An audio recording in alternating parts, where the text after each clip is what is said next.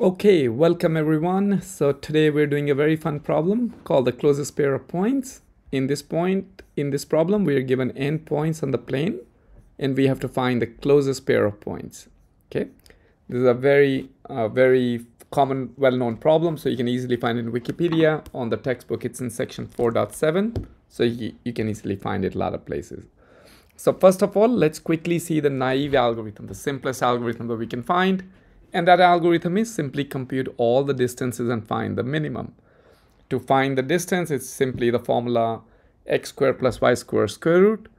And that's what we do. We compare all the n square combinations and we take the minimum and that's our answer. But we are really interested in a better algorithm. But if you want to use the naive algorithm, this is what it looks like. Again, no magic here. There is two for loops for i in range, for j in range, compute the distance, that's a math dot square root here. If it's less than the minimum distance, which is initialized to be infinity, uh, update your minimum, and that's what you have. And because in this case there are two for loops here, this will take n squared time. We don't want to really do that. We want to find a better algorithm here. So there is a big difference between n squared time algorithm and n log n time algorithm if we can find it. So in n log n time algorithm, you can easily run with 10 billion points. n square algorithm, not so much. Even if you have 10 million points or 100 million points, uh, the difference between them is already very big. An n square time algorithm will take many minutes to run it, uh, while n log n time, you wouldn't be able to really uh, observe it quickly as a human experience. And we would we want to use the divide and conquer approach here. The divide and conquer approach normally begins by dividing the input into, into smaller parts here. Here we will divide this, the set of points into two equal subsets by simply taking the median of the x dimension, essentially looking at the point from left to right, the first half, the second half here. And then we will make we will solve this problem recursively by making a left hand side recursion, a right hand side recursion, and then there are two recursive calls here. So that kind of looks like, okay, first divide this problem here on the left hand side. So that's your dividing vertical, half points on the left, half points on the right. And then you make the two recursive calls, which would take t of n by 2 time, considering that t of n is your overall time. And then you still have to handle the crossover scenario such that if one point's on the left hand side, the other point's on the right hand side, how much time does that take? So that's the minimum distance. So you have to handle that scenario as well. This is kind of what it looks like. So that's the crossover case there. So you essentially have to do these three things. After you divide the, after you divide, you make the left-hand side recursive call, right-hand side recursive call, then understand this crossover scenario, and then return the best solution that you found. That's how our algorithm would look like. So if we look at the time complexity of this algorithm, that would take t of n is equal to cn, which is the time stem, that, that's the time that's spent in the step one. That's the median finding. Now recall, the median can be found in linear time. You don't need to sort it. The linear can be found in median time. We have covered this earlier. You can find a video link floating somewhere. So that's something else that you can look into. Then you make the two recursive calls, 2t n by 2, and then the crossover scenario, which we haven't really analyzed yet. So we can say that that takes f of n time. So that's our overall recurrence relation for this problem here. Okay. Then we can do a little bit of conditional analysis. Okay, depending upon f of n, what does the t of n look like? So we observe that if f of n is big of n square, then t of n will be big of n square as well by using master theorem, etc. So that's not really an improvement over the naive algorithm. But if f of n is linear, then the t of n will also become will also dif be different and it'll become big O of n log n.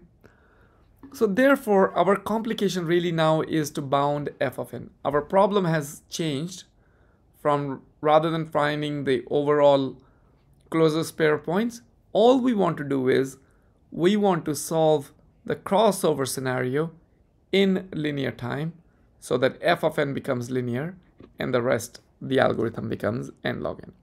So we will try to see how this can actually be done in fact. So let's understand the merge process.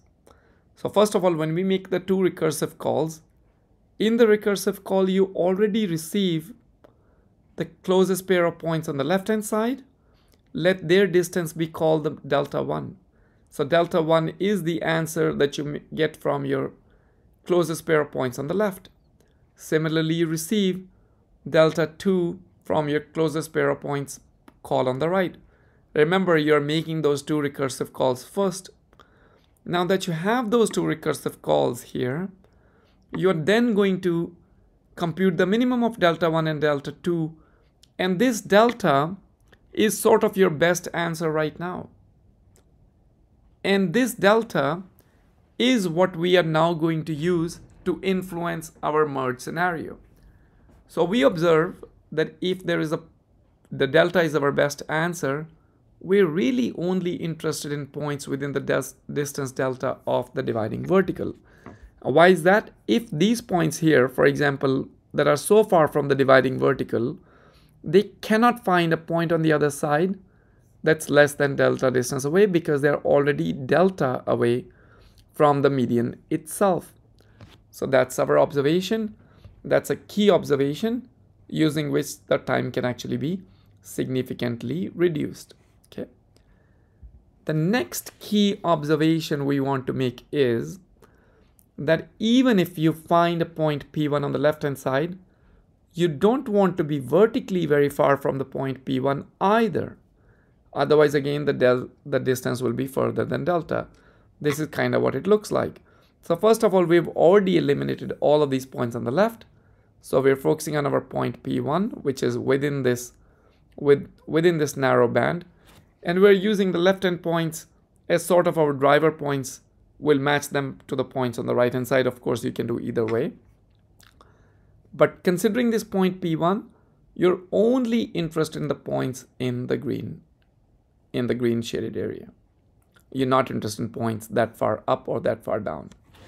Then we make the final observation that within this green banded area here, you can really only fit six points there.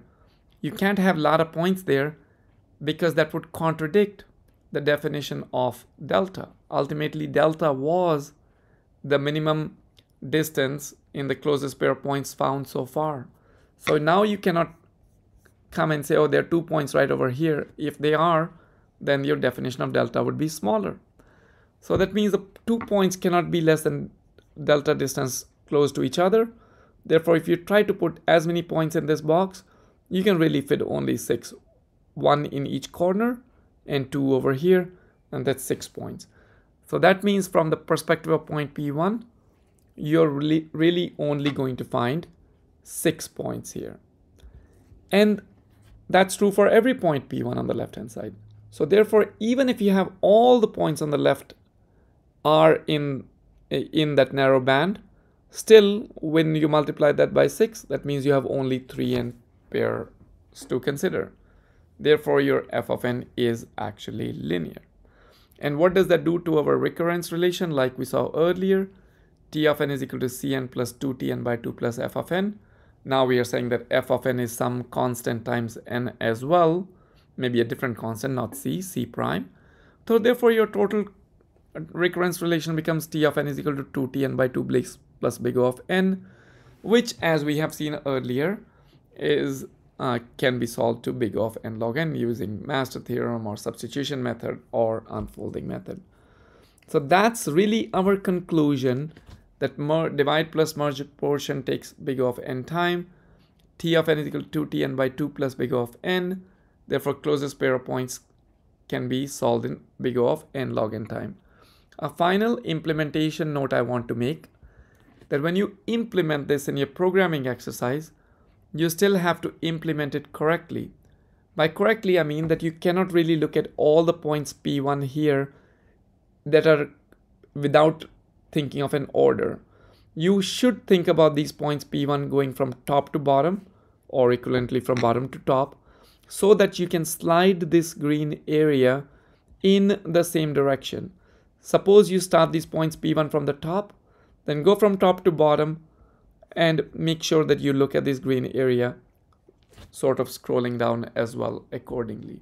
So this is a crucial implementation detail without which you can, uh, it, your program can actually may not necessarily be correct. Although uh, in practice, I must say that from the, if you just look at it from the first observation, which is to eliminate all of these points that are away from the narrow band, that already gives you an actually practically an n log n time algorithm. So again, so those practical, some of those implementation details aside, this is a perfectly uh, great big of n log n time algorithm for your closest pair of points here. Okay. All right. Have fun. Keep learning.